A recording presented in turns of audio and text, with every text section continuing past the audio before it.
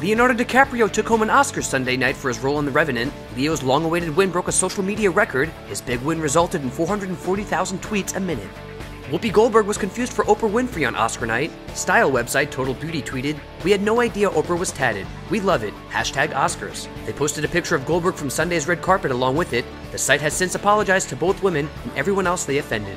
It's Kylie versus Kylie. Kylie Minogue has filed an opposition to Kylie Jenner's attempt to trademark their first name Kylie. Minogue pointed out that she has been known by her first name since her first album, and she owns and operates Kylie.com. She thinks granting Jenner the right to trademark her first name would cause confusion for buyers between the two brands. CBS announced Monday that they have renewed NCIS for two more seasons. The popular crime solving drama is currently in its 13th season. Mark Harmon, who plays team leader Gibbs, has signed a two year deal as well. NCIS is the number one drama among total TV viewers.